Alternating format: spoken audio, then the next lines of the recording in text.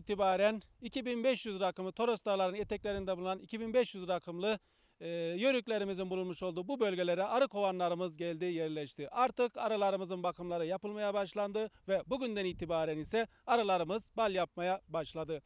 Şu anda bulunmuş olduğumuz yer Toros Dağları'nın etekleri olan 2500 rakımlı yaklaşık 2000 çeşit bitkinin çiçeklerinin bulunmuş olduğu bir bölgedeyiz. Burası yani e, çiçek bakımından, kalite bakımından çok yüksek verimi olan bir bölge ve arıların çok kaliteli bal yapmış olduğu bir bölge.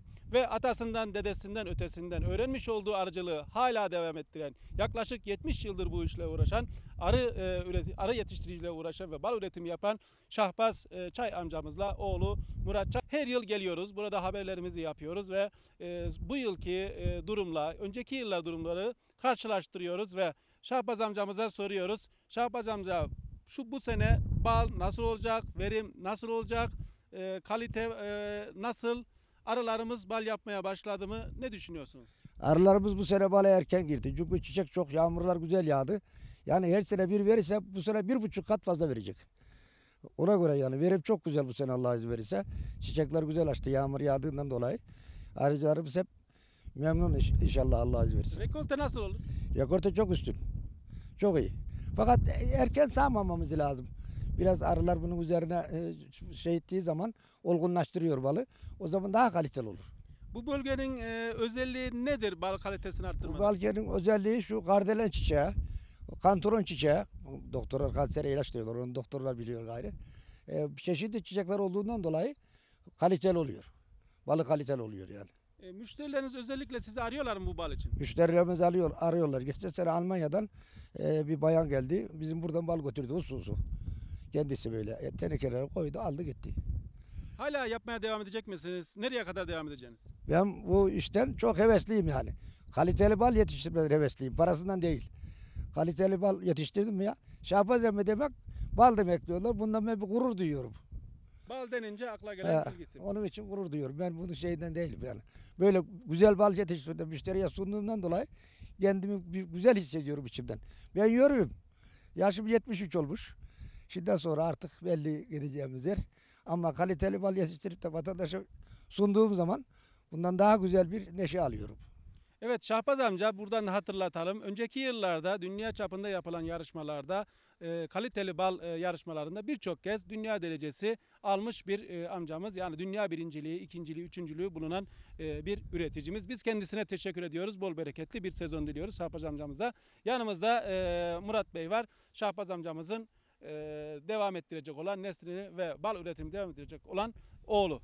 Evet e, Murat Bey size soruyoruz. E, bu sene tabi balın ticaretiyle ilgili çoğunluğunu siz yapıyorsunuz. E, üretimlerde rekolte artacak diyoruz. Ne kadar üretim yapılacak? E, iç piyasa, dış piyasa nedir? Biraz bilgi verir misiniz? Şimdi önce şöyle başlayayım isterseniz. Ee, babam hani hep diyor ya 5 yaşında başladım ben arıcılığa diye. Biz de babamızın yanında 5 yaşında başladık. Ee, bu mesleği e, hevesle sürdürüyoruz. Ee, işin gerçeğini söylemek gerekirse. Bu Torosların 2500 rakımlı yüksek e, zirvesinde organik arıcılıkla yöntemiyle bal üretiyoruz. Ee, Bu bölgedeki e, bitkiler e, yaklaşık 2000 2000'in üzerinde e, yani tamamen de sayılmamış sayılır aslında çok bitki var. E, Bu bölgede kısa ömürlü kır bitkisi var ama bu yıl e, karlar daha yeni eridi. Haziran ayının girmesiyle buraya çıktık. E, Arılarımızı buraya getirdik.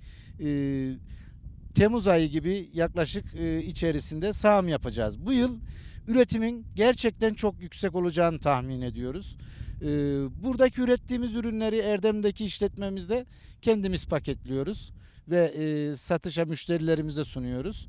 Ee, yaklaşık e, dışarıdan gelen talep de var bize ama bu yıl çok olacağı için tahminen e, bir ton civarında e, Fransa'ya da ihraç edeceğiz.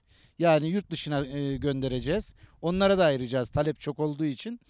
E, bu bölge e, bahsettiğimiz gibi işte kardelen çiçekleri, kantaron, ondan sonra size ne diyeyim e, bunlar şifalı bitkiler. Önde gelenleri tabii bitkilerimizin hepsi e, şifalıdır. Şifasız bitki yoktur bu dağda. Bu dağda mesela mantar yetişir. O bile ne tüketilir yani bizim yörük kültüründe. Evet, e, özellikle pandemiyle birlikte bal tüketimi çok arttı. İlçemizde 5 son 5 yılda e, arı yetiştiricisi, bal e, mesleğiyle uğraşan bal üreticisi yaklaşık 3 katına çıktı ve Erdemli'mizde de her geçen yıl bu artarak devam ediyor. Biz Erdemli'mizdeki bal e, üreticilerimize gerçekten böyle güzel kaliteli bal ürettikleri için, katkısız, doğal, şifalı bal ürettikleri için teşekkür ediyoruz.